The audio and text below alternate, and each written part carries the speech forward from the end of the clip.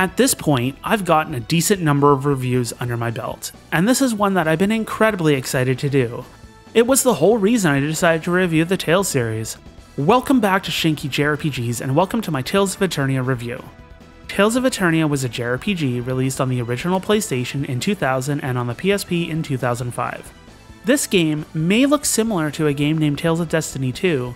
That is because they are the exact same game, Back when it was initially localized back in 2001, Mattel owned the copyright to the term Eternia with He Man and the Masters of the Universe, which led to the name change, despite two years later getting an actual Tales of Destiny 2 on the PS2. It's led to confusion all over the place, kind of like North America's Final Fantasy 2 and 4 debacle. This game was actually my very first Tales game and was the one that solidified my love of the series and JRPGs as a whole. I remember it quite vividly. I was in high school at the time. I went to go visit a friend, and he had rented this strange game I had never seen before. He was playing Tales of Eternia. He was on the Volt boss battle. He handed me a controller, which had thrown me for a loop because an RPG that's multiplayer? That doesn't happen. I had never played an action RPG quite like it before, and as they say, the rest is history. Anyways, strap yourselves in, grab a drink, and get ready to hear about my thoughts and opinions on Tales of Eternia.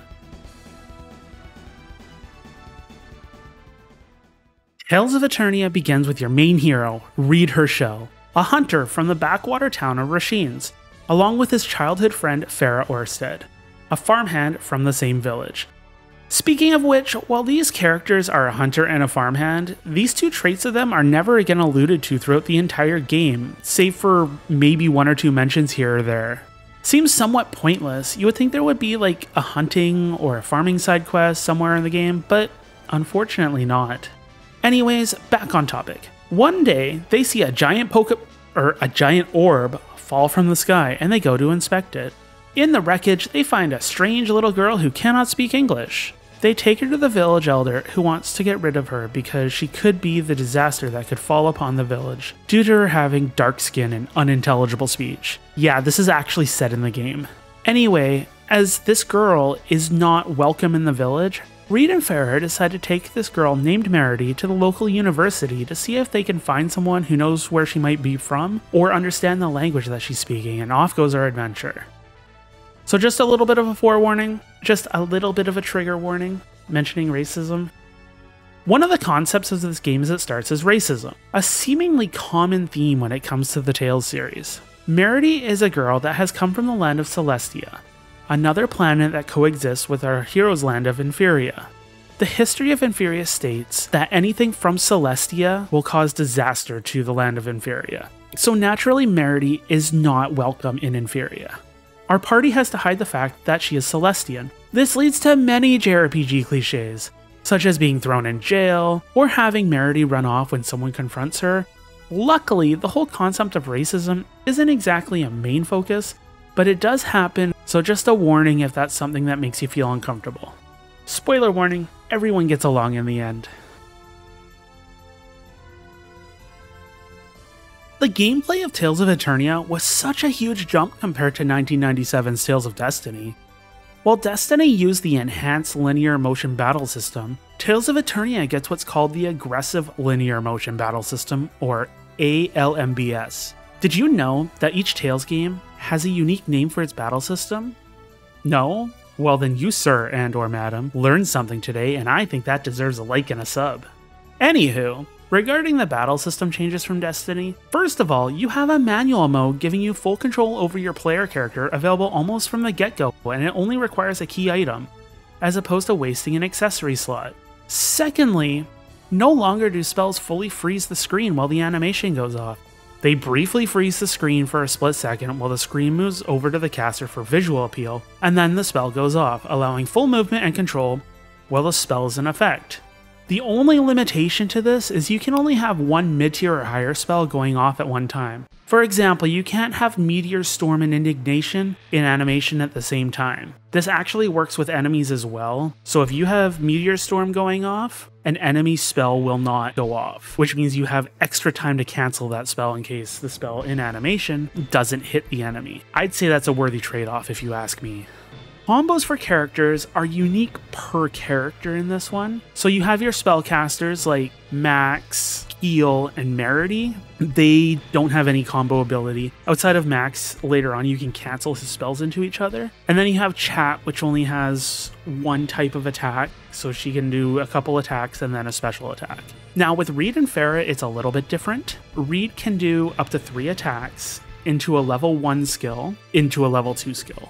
And then Farah is very unique when it comes to combat. So Farah can attack twice, and then she can use a ground ability, and then a ground to air ability, and then an air to ground ability. So she has a little bit more combo potential, which really opens it up. Tales of Eternia as a whole was quite a bit faster than the precursors in the series, making it much more enjoyable and more of an engaging battle system, as opposed to Fantasia and Destiny, where it resulted to just running towards the enemy, attacking, and then running back to your starting position over and over and over. In addition to that, Tales of Eternia added quite a bit of mini games. You have games like Cramo Ball, where you're supposed to use bursts of energy to control a giant ball and crush your opponent with it. And then you have Whis. Whis is a very enjoyable minigame. It's essentially Uno, but instead of colors and numbers, you're using elements and attack cards.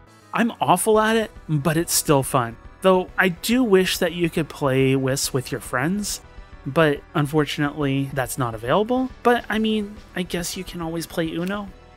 Exploration in Tales of Eternia also goes over the top. Areas are much bigger and have many more hidden areas. In addition, you also have hidden items such as lens. There are 60 lens in the game that you can find. Every 10 lens you're given a reward that cannot be found anywhere else, and they're usually quite good rewards, such as accessories that block status effects or reduce elemental damage. And Tales of Eternia is where the Wonder Chef started. The Wonder Chef is an NPC who likes to hide as inanimate objects, something like a giant plant, or an anchor, or a piggy bank. At one point, he even imitates the town drunk. If you find him, he will teach you a recipe, and you can cook to add a whole plethora of effects, such as healing HP or TP or curing statuses. Tales of Eternia is the first game that had a cooking system. It was not available in the original Fantasia or the original Destiny. They were using food sacks up until Tales of Eternia. So having a Wonder Chef really encouraged you to explore every nook and cranny in the game.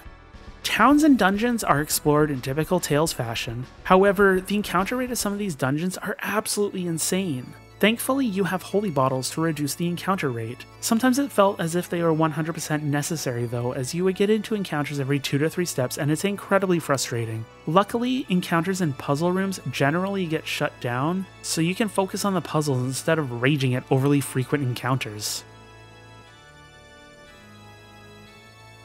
Graphics are another huge change from the previous Tales games. While Destiny and Fantasia used a chibi art style, the art style of Tales of Eternia is more of a realistic humanoid style with accurately portrayed limbs and torsos. As per most Tales titles, Tales of Eternia is very very colorful and very pleasing to look at. Especially with top-notch pixel art, it's really a treat for the eyes. The game still goes with an anime art style, which is shown in the skit system. Unfortunately, in the English version, skits are devolved to only telling you which direction to go to progress with the plot. In the Japanese version, the skits are like future Tales games with silly conversations between the characters to enhance character development. I personally have no idea why this was changed, but at least they weren't entirely removed. While I adore and love Tales of Eternia, it's by no means the perfect game. I feel like Tales of Eternia probably has the weakest soundtrack in the series. That's not to say it's bad by any means at all.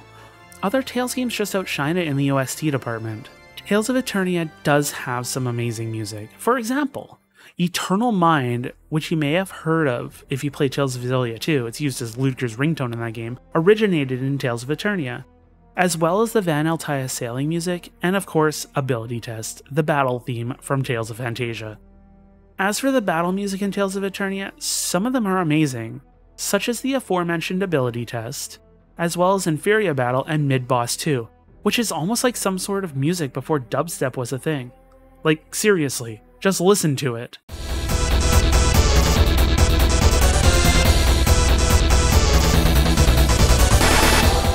See? dubstep.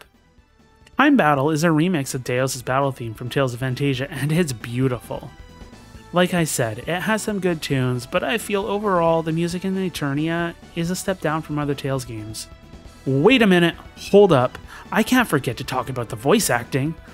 Now, the localization of this game only has English voice acting, which was a first for the series as Destiny and Fantasia only had the Japanese dub. And I can only explain this English voice acting as comical. You have incredibly underacted parts, such as Reid saying a lot of his tech names like Demon Hammer, Demon Hammer! or Omega Demon Chaos. Omega Demon Chaos! Then you have some cutscenes that are absolutely ridiculous and overacted for literally no reason at all. Keele, why are you quiet? Why are you looking at me like that? Oh, for love, the blue moon. Ah, shut up! All the voice acting is terrible, but it's the good type of terrible, making you look forward to the next voice cutscene so you can see just how much of a dumpster fire the voicing in that scene is. You know what they say good is fine, but terrible keeps you coming back asking for more. Okay, no one says that, but they should, because it's a good saying. Right? It is, isn't it? So, how long should you expect to spend with Tales of Eternia? Well, Tales of Eternia has a ton of side content. You could blast through the game in 20 to 30 hours if you just focus on main story and ignore most, if not all, of the side content, or you can easily spend upwards of 70 hours. On average, though, I'd say the game is about 45 to 50 hours on a casual first playthrough where you don't ignore every non mandatory side quest. I will mention, however, if you want to play through the game a second time, you can actually do a extra bonus dungeon with a super boss. So that'll add quite a bit of time to your gameplay because there is a lot of grinding involved. Pacing wise, the game isn't too bad.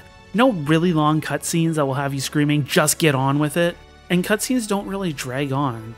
They're pretty short and sweet, letting you get back to the gameplay relatively quickly without feeling like the cutscene was a waste of time. So, yes, Tales of Eternia, while my favorite game in the series, does have its shortcomings. Would I go ahead and say it's the best game in the series? Not quite, but it's in the top 3 as far as I'm concerned. Hey, maybe I should do a top Tales games video. Let me know if that's something you'd be interested in in the comments below. While you're at it, give the video a like and subscribe. Have you played Tales of Eternia before? What were your thoughts on it? Do you have a story or history with the game? Let me know. I'm always in the comments to interact with the community. That's the meat and potatoes, folks. Thanks for tuning in and have a wonderful day.